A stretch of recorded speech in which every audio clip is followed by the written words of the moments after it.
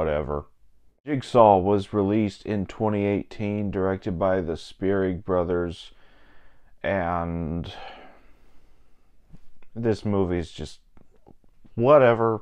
I don't care anymore. Let's just go ahead and start off with the good with this review. And to this movie's credit, it has some pretty damn good traps. Uh, specifically, the blender. That's probably my favorite trap in this entire franchise, so I give that movie credit. Uh, some pretty damn good traps here.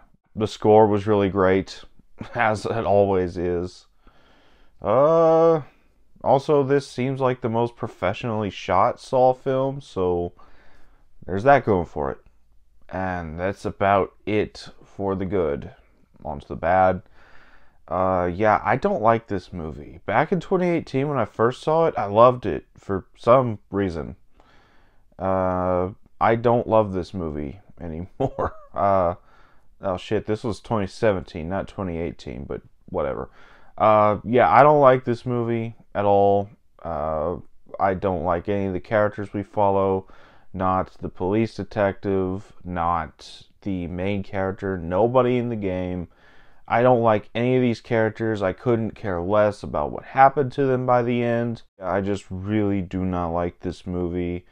Uh, none of the characters were likable, and the fact that the main character in the game that we're supposed to be following is somebody who murdered a baby. Uh, yeah, fuck that. Uh, I'm not going to uh, root for a type of character like that. Uh, so that just did not help it at all.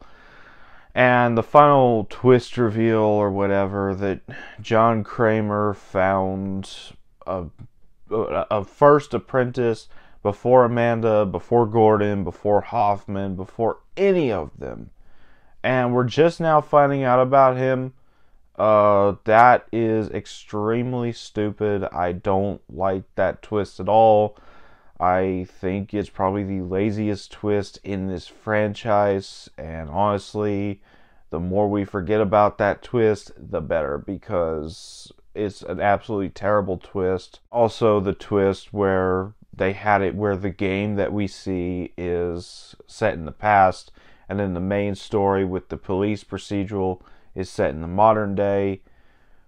I mean, it's not an absolutely terrible reveal, but it was obviously just shoehorned in in order to bring Tobin Bell back for one scene.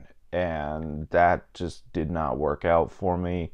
I thought that was a pretty lazy reveal as well, as interesting as it could have been.